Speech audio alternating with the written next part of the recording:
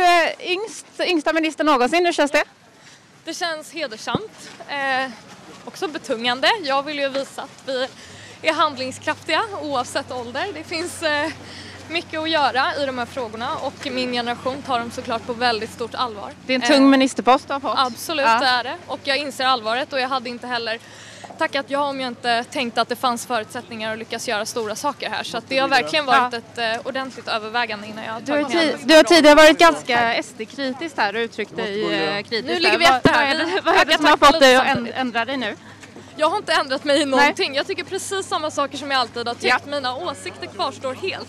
Jag ser möjligheter att göra skillnad i den klimat och miljöpolitik som bedrivs i den här regeringen och jag har fått möjligheten att göra det och det är det jag har tagit mig Ja, an. så du står fast vid din kritik innan Vart här? ska jag nu Johan? Dit.